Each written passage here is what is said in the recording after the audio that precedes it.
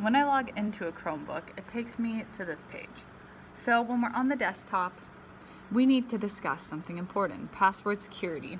So any of your accounts that you've ever signed into, if you're on the Tanana Computer Lab using these computers, or if you're on your school issued Chromebooks, your passwords are gonna automatically sync based on the settings that you have on Chrome. So we need to learn how to turn this off so that whenever you log into a new Chromebook, those settings aren't automatically gonna sync, so it's not gonna automatically log you on. Okay, so when you open your Chromebook, if you wanna access your password security, there's two ways to do this. First, you can go down here to this button in the lower right hand corner and then go to settings. Here in settings, you can access your passwords and determine if you want them to sync between computers. I don't want it to sync because anytime you sync, it will show up on any computer you log into. So if you log into a computer at home with your Tanana account, then everything will automatically be signed in.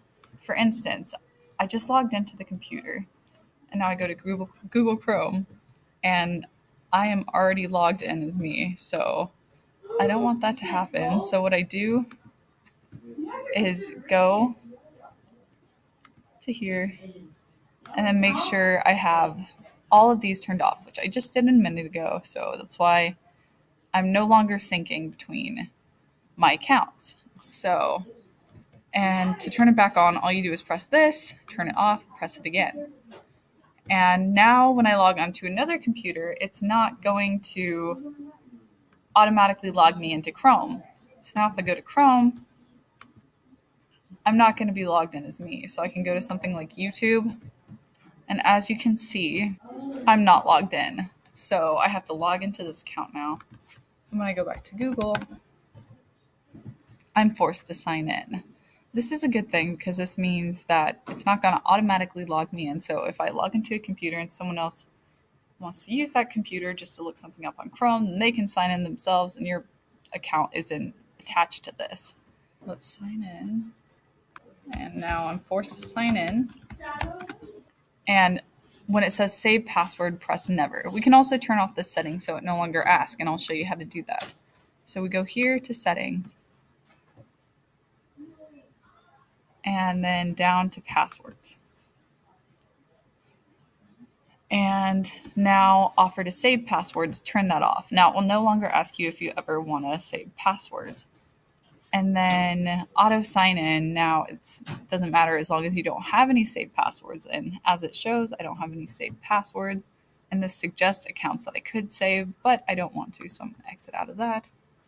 Now, the last way to access your settings for your Google Chromebook, go to your icon and then Google account. From here, go down to security.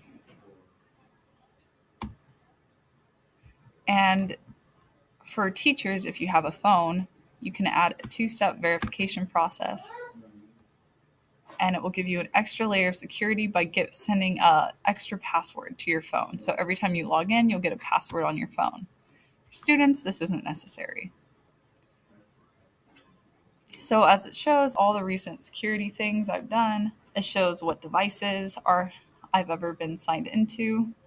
So let's go to manage devices and it shows what I'm logged on to.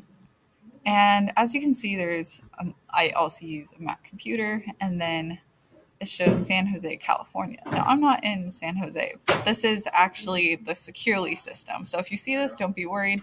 It's just Securely.